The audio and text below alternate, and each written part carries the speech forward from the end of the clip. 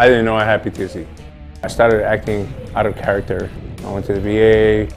I got out of the program. I felt like I was worse and I was almost about to give up. I didn't want to live.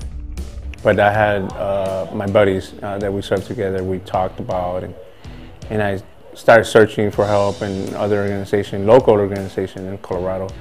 And uh, I wanted to get active, I wanted to get fit, uh, and I started cycling.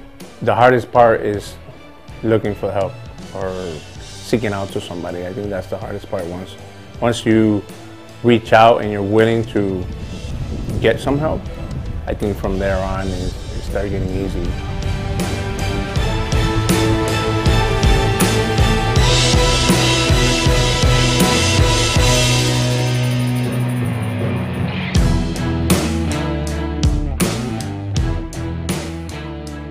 We are there to listen to each other.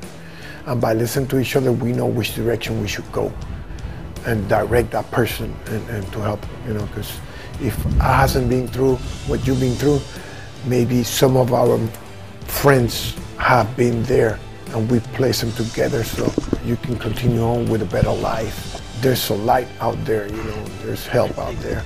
You just gotta look and, and have that will to, to get better and better.